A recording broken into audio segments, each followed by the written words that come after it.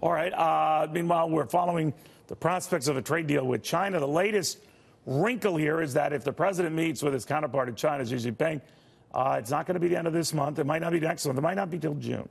Charlie Gasparino, what's going on? Well, the political calculus has always been push it out, right? Right. Get the deal and get the bang for the buck closer to the 2020 elections, as, as close as you can, Right. because the markets are probably going to go up on on some of this. Um, you know, uh, it depends on how big the deal is. If the deal is no, uh, no problem. If the deal is um, marginal.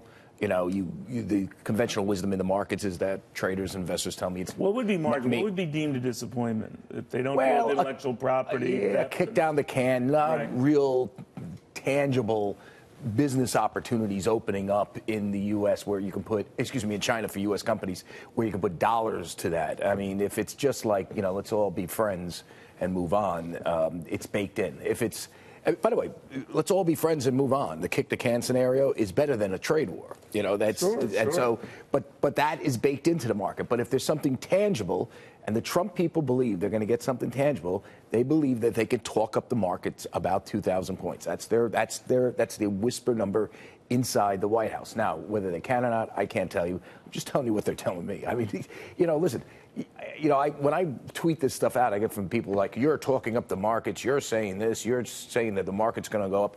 I'm not saying this. This is what they're saying. I'm just reporting to you what they're saying. Believe them. Listen, Trump says it's the greatest economy ever. Is it? I don't know. Well, No. no. um, but let me ask you a little bit it's about worth. that. It's a fine economy, and. Do you think, with the markets and everything else, we could pick it apart, but we blame presidents when it's just the opposite Sure. of what's going on now.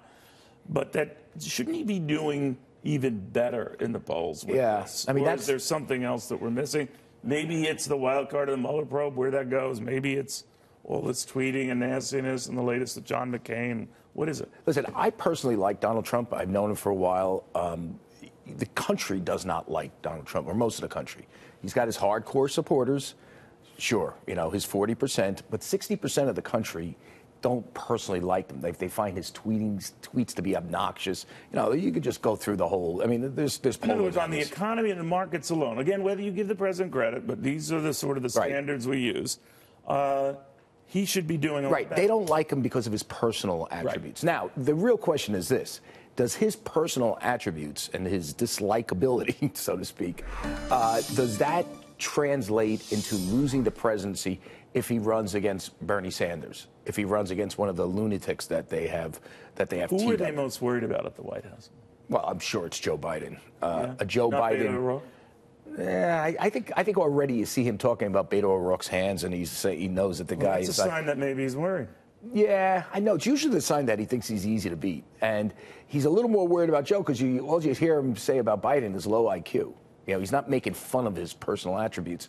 Uh, Biden, Low IQ isn't a compliment. you know? no, but it's like, you know, okay, th- let's see Donald Trump's transcripts from college. We know that Michael Cohen tried to hide them.